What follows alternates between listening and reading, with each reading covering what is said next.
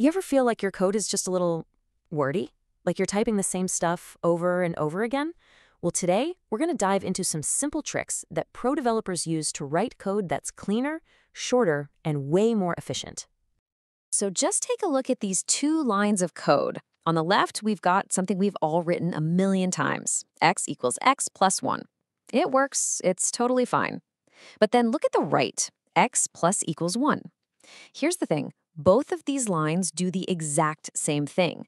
They take the value of x and add 1 to it, but one of them is obviously a lot shorter. So what's the real difference? And more importantly, why should you even care? I mean, is it just about saving a couple of keystrokes, or is there something bigger going on here that can actually make you a better programmer? Well, the answer is something called shorthand operators. Honestly, the best way to think of them is like abbreviations or nicknames for the most common things you do with variables. Their goal is super simple, make your code shorter, and once you get the hang of them, way easier to read at a quick glance. Okay, so this is pretty much our entire basic toolkit right here. You've got plus equals for addition, minus equals for subtraction, and you can see the pattern, right? It's the same deal for multiplication, division, and even the modulo operator. Every single one is just a direct, shorter way to write the long version. You know, the best way to really wrap your head around this is to just see it in action. So let's follow a variable. Let's trace it through a few of these operations. We're going to start with an integer, x, and we'll just give it a value of 10. First up, we're going to use the addition assignment operator. We say x plus equals 5. Now, that's just the short way of saying x equals x plus 5. So, of course, our variable x is now 15. Pretty simple, right? Okay, so let's take that new value, 15, and let's apply the next operator, x equals minus 3. This just subtracts 3 from whatever our current value is, which brings x down to 12. And let's keep it rolling. Next is x equals 2. This takes our current value of 12 and, you guessed it, multiplies it by 2. So the new value of x is now 24. See how we're just chaining these things together? It's pretty clean. And for our last step in this little journey, we'll use the division assignment x divided by 4. We take that 24, we divide it by 4, and we land on our final value, which is 6. And there it is. The final output is 6. But using these shorthand operators, we just did four different calculations in a way that was really clean and honestly pretty easy to follow. Okay, so those were the basics. But now let's get into the two shorthand operators that you are going to see and use constantly. I mean, all the time, especially when you start working with loops. Let's talk about increment and decrement. These guys are the ultimate shortcuts. The double plus, plus plus, it just means add one. It's literally the shortest possible way to write x equals x plus 1. And of course, the double minus, minus minus, does the exact opposite. It decreases a value by 1. Now this seems super simple, but here comes the twist. And it's a detail that trips up beginners and, let's be honest, even experienced programmers sometimes. When you use plus plus or minus minus, does the value change before the line of code is finished or after? Well, the answer actually depends on where you put the operator. And this right here is the crucial difference. If you put the plus plus before the variable, that's called prefix, and the rule is simple. Increment first, then use the new value.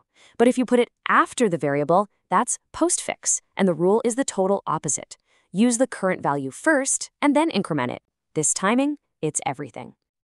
All right, theory is great, but let's make this real with an example. We'll declare an integer, i, and set it to 5. Now, for our first line, we're going to print the prefixed version, plus plus i. So what do you think is going to get printed? The output is 6. So why? Because with prefix, remember the rule. Increment first, then use. So the program increases i from 5 to 6 before the print function even gets a chance to look at it. Okay, so i is now 6. That's its current value. Let's run our next line, but this time we're using the postfix version, i++. What gets printed now? And this is just perfect. It shows the difference so clearly. The output is still 6. With postfix, the rule is use first, then increment. So the program grabs the current value of i, which is 6, and it sends that to be printed. After all that is done, kind of behind the scenes, I then gets updated to 7.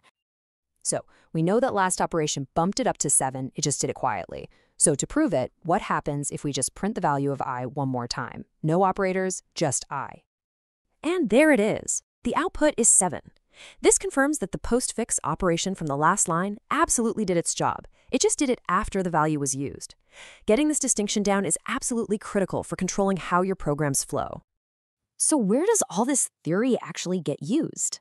Well, the single most common place you are going to see the postfix increment operator is as the engine that drives a for loop. Take a look at this totally standard for loop. We start i at 0, we tell it to run as long as i is less than 5, and the key piece is that third part, i++. That postfix operator runs after the code inside the loop has finished its cycle. And this is exactly why postfix is so perfect for loops. On the first pass, we use the value 0, so it prints value 0. Then i gets incremented. On the second pass, we use the value 1, then it increments. And this just keeps going, all the way until i is 4. The loop runs, it prints value 4, and then i is incremented to 5.